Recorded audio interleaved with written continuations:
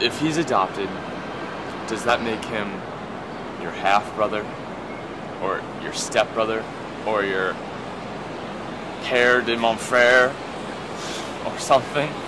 It's simple. You meet him, you screw their brains out, and you move on to the next one. Whoever has put themselves at the other end of your scope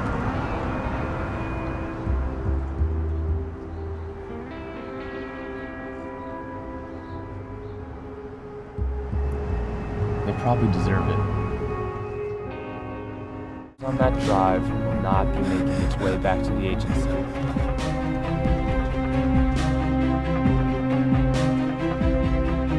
Give it to me.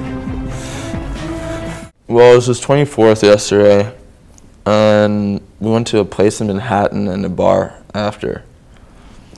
And I met this girl. She was all right, I guess, and yeah.